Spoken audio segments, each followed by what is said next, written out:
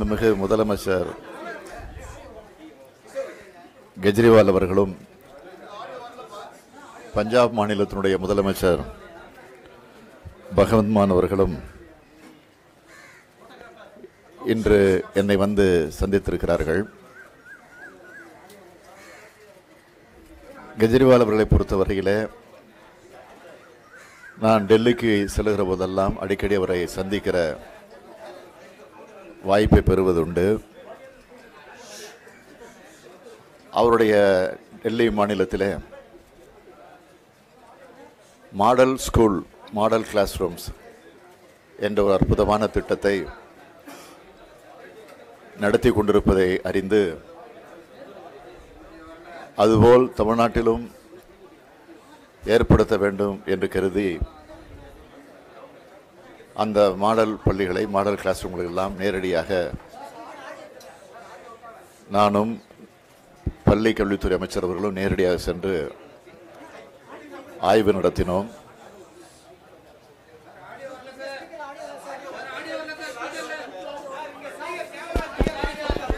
அதை அதைத் தொடர்ந்து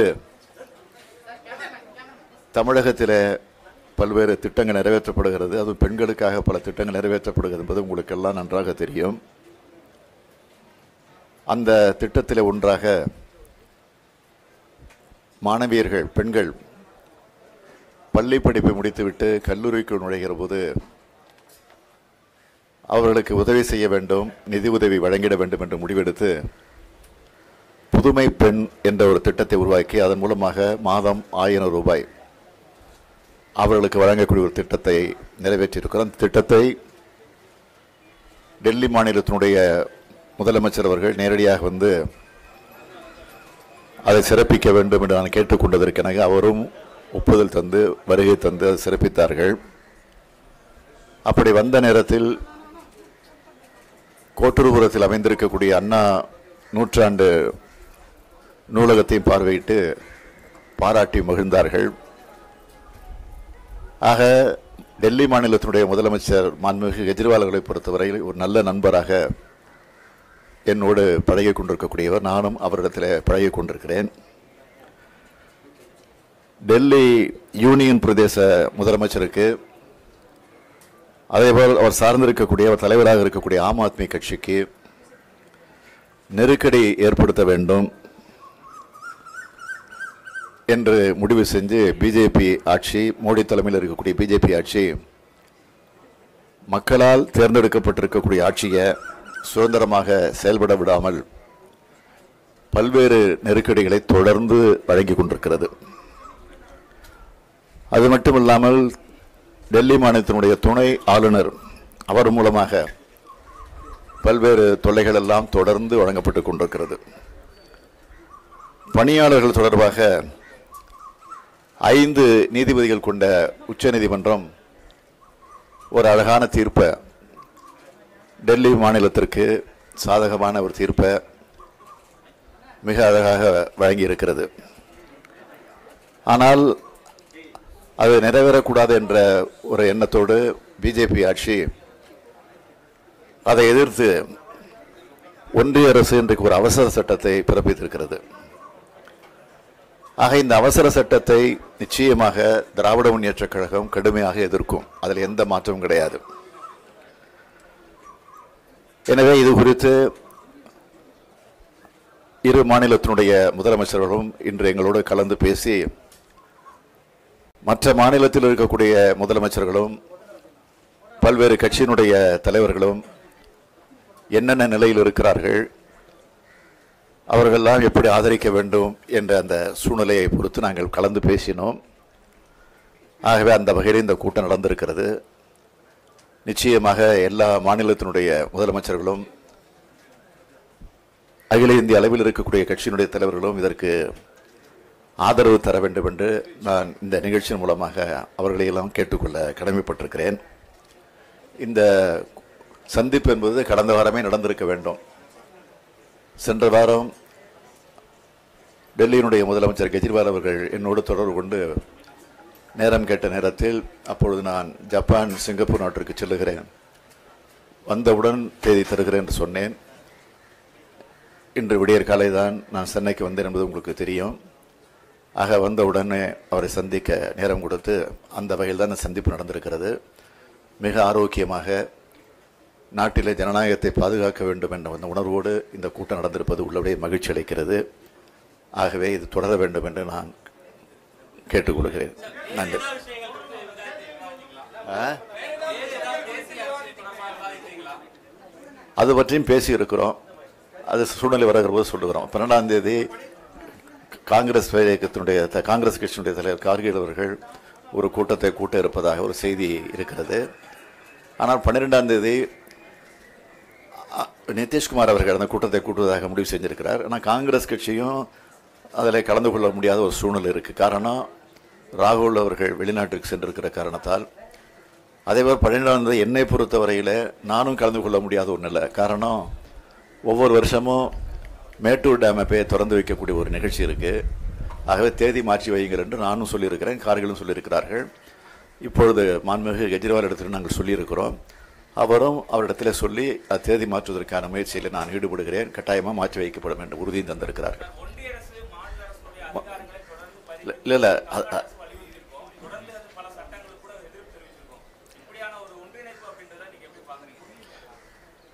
ஜனநாயகத்தை காப்பதற்கு இப்படிப்பட்ட ஒருங்கிணைப்பு அவசியம் தேவை. இது தொடர வேண்டும். இது நாடாளுமன்ற தேர்தலுக்காக மட்டும் இல்லை ஜனநாயகத்தை காப்பாற்ற வேண்டும் என்பதற்காக இது தொடர வேண்டும் என்பதுதான் என்னுடைய விருப்பம். அது தொடர வேண்டும் என்பதுதான் என்னுடைய ஆசை. இப்போ இல்லை இல்லை இப்போ வந்து டெல்லி மாநிலத்தினுடைய முதலமைச்சர் திரு கெஜ்ரிவால் அவர்கள் உங்களிடத்தில் பேசுவார். Thank you so much, Stalin Saab.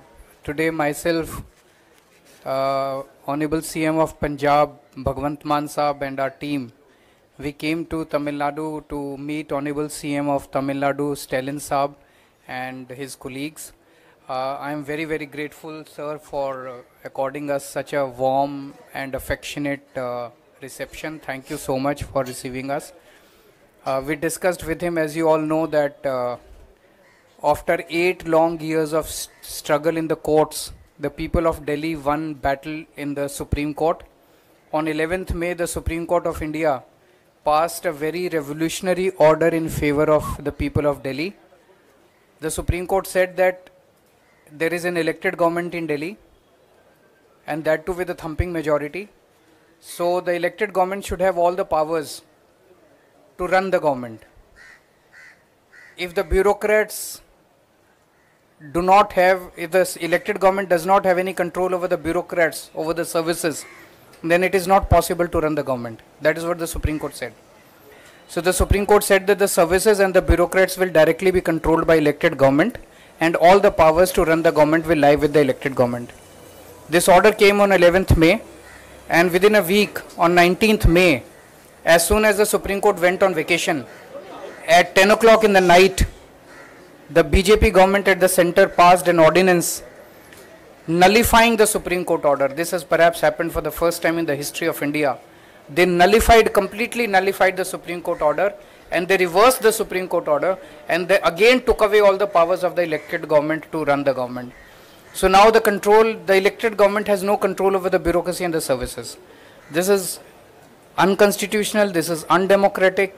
We live in a democracy, we have a constitution, and the constitution says that there will be elections, the people will elect their government, and the government should have all the powers to run the government. Now, this ordinance will come in the parliament, in a monsoon session of parliament, which will start perhaps in the last week of July. This will have to be presented in parliament. BJP has complete majority in Lok Sabha, but in Rajya Sabha, BJP has only 93 members out of 238. If all the non BJP parties come together, we can defeat this bill in parliament.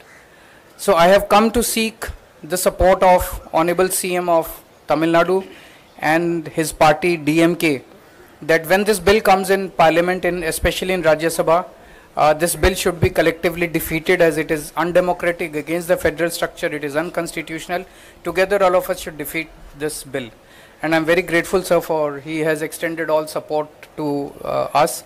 When this bill comes, DMK, he has assured us that DMK will stand by Aam Admi Party elected government in Delhi. He- The DMK will stand by the people of Delhi and they will help us in defeating this bill. They will vote against this. And uh, I also appeal to all other in the last few uh, weeks.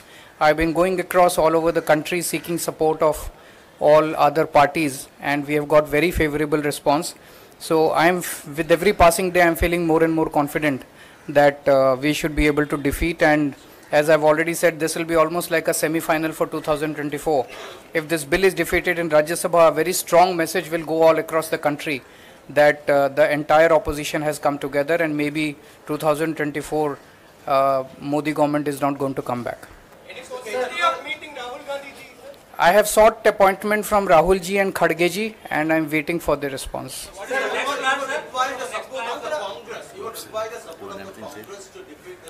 Parliament. I am very confident that Congress should support this. There is no reason why Congress will not support it because this is undemocratic against the federal structure. Amid attempts to bring about a united opposition, how much are you willing to accommodate the Congress demand for a joint united opposition candidate for 2024 Lok Sabha elections? We will, as you all know, that now at the, all the opposition leaders are going to meet in the next few days the dates and all are being worked out according to everyone's convenience. So there all the nitty-gritties will be worked out. Thank you.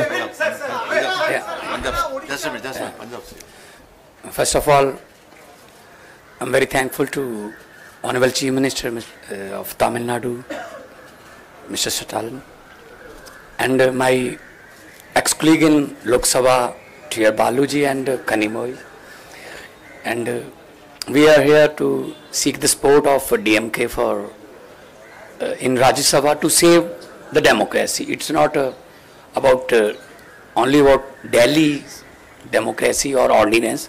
It's to save democracy in entire country. So we are very thankful to all of uh, Stalin Saab and Kanimoyji, Baluji and their colleagues for warm wel- welcome and uh, we are very happy to seek the support and they uh, said that uh, this is unconstitutional. Uh, actually, uh, BJP running the non-BJP governments in the states uh, through the ordinance or through the governor houses. Mr. Stalin have to fight with the governor. He's not signing the bills, and he is not uh, reading the uh, uh, speech uh, passed by the Council of Ministers. Uh, same in Punjab. I have to move to Supreme Court to call Punjab Assembly budget session. So this is not fair for the democracy or federal structure. So we are here to seek the support of DMK. And thank you very much.